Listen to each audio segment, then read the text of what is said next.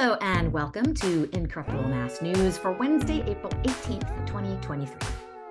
So we're going to start with this week's activism. These are events that you can show up at um, at 3.30 on Friday, this Friday, April 21st. For Earth Day, uh, XR is hosting an Earth Day in Love and Rage at the Boston City Hall. At 2 p.m. on Saturday, April 22nd, Mass Peace Action uh, is having their peace and justice agenda with legislators. I believe this is over Zoom.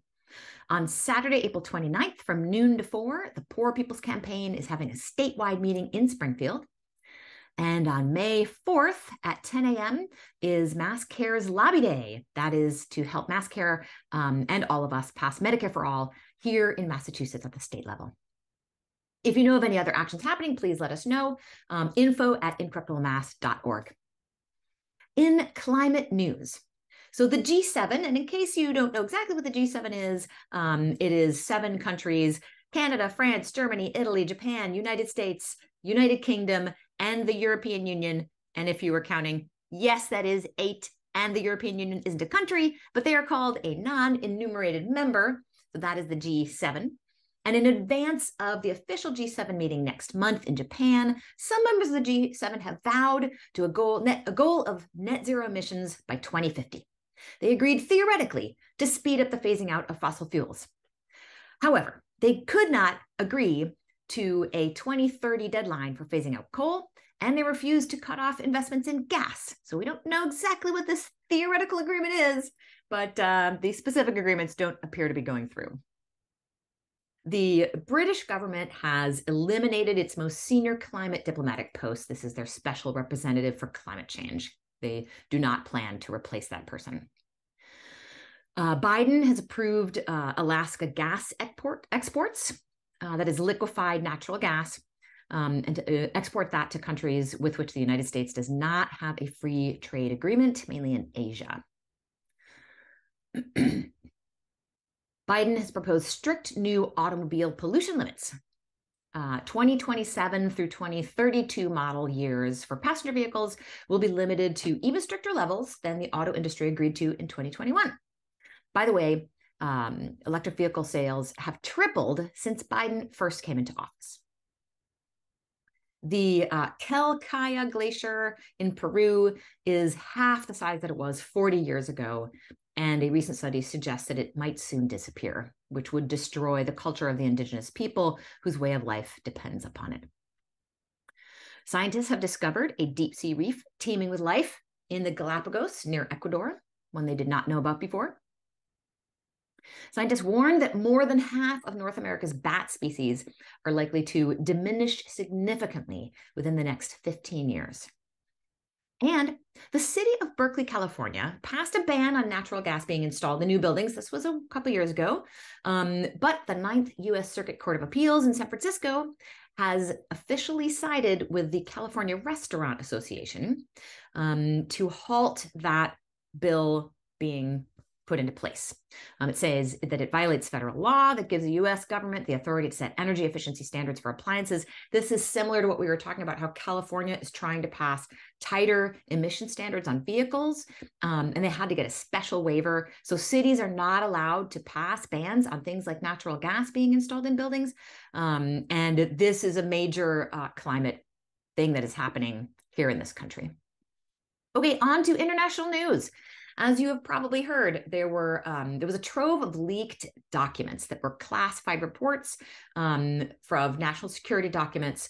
Um, these were revealed. Um, they revealed secrets about um, the United States, uh, allied and Ukrainian military deployments, um, and a number of other things, including uh, U.S. Uh, spying on allies, including South Korea and Israel, and on the UN Secretary General Antonio Guterres. Um, and the UN has stepped in now and said that these actions of spying are inconsistent with the obligations of the United States as enumerated in the Charter of the United Nations and the Convention on the Privileges and Immunities of the United Nations. Um, it is, in fact, a 21 year old Massachusetts National Guardsman, Jack Teixeira, who we has at least been arrested over these leaked classified documents. Um, so that is who um, they believe was the person leaking those documents.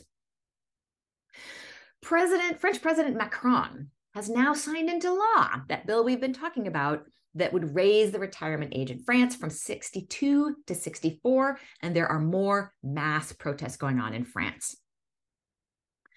In Sudan this week, rival leaders of the military government battle for control of the country. They've killed at least 180 civilians, injured hundreds more um, since Saturday. The fighting, unfortunately, has really um, diminished the hopes that there would be a democratically elected government that was run by civilians instead of the military in Sudan. And finally, uh, President Brazilian President Luiz Ignacio Lula da Silva uh, is forming a group of leaders, uh, worldwide leaders, that will work to end the Ukraine conflict via diplomacy and try to end the war.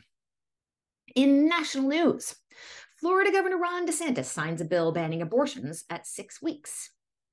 While Colorado's Democratic Governor Jared Polis has signed three bills into law protecting access to abortion and gender affirming care calls are growing for Supreme Court Justice Clarence Thomas to be impeached.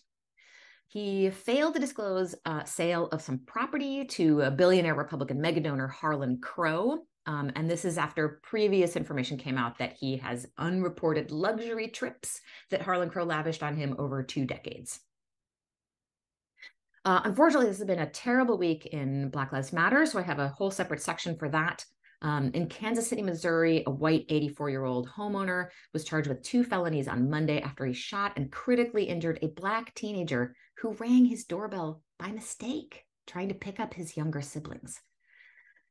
A grand jury in Akron, Ohio has decided not to bring criminal charges against eight police officers who fatally shot Jayland Walker, a 25 year old black man, after a traffic stop last June.